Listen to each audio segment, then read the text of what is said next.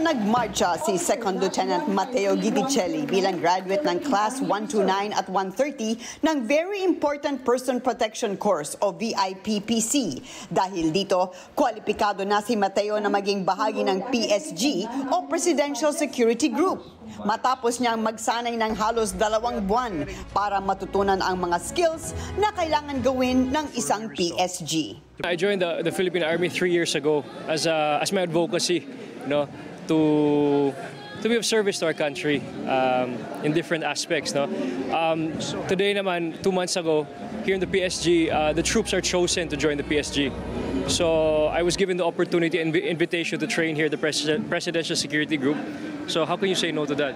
May special award si Mateo bilang third best sharpshooter.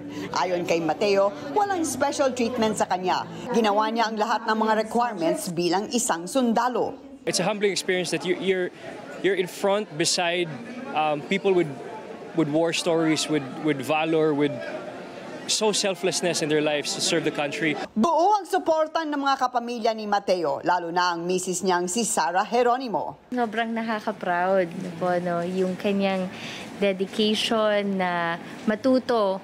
Parang, parang he always wants to learn and grow as a person and uh, as a re- reservist no, para sa bansa natin. We are all proud of him and uh, how patriotic he is for the country and what he, his achievement that he has done so far. trust him, proud of him, love for the country. Nagpasalamat din si Presidential Son at Ilocos Norte 1st District Representative Sandro Marcos sa dedikasyon ng graduating class. I have personally seen the dedication, the service, and the tenacity that the Presidential Security Group possesses. I would like to thank all of you, not just the graduating class of today, but the whole Presidential Security Group on behalf of the President, on behalf of the First Family. Maraming maraming salamat po sa inyong lahat.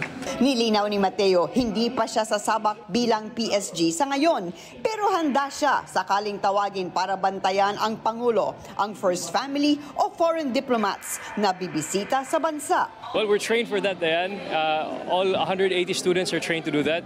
Uh, but of course, if they, if they need my help, I'm always here for my country. Kumbaga. Inimbitahan ni Mateo ang iba pang celebrity na sumali sa army o maghanap ng anumang paraan para magserbisyo sa bansa. Diane Castillejo, ABS-CBN News.